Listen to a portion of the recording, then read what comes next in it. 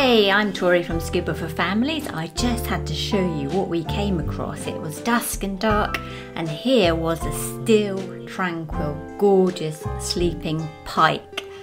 I was quite surprised. Fish do not have eyelids except sharks. Sleep for this pike is really more like a daydream is for us.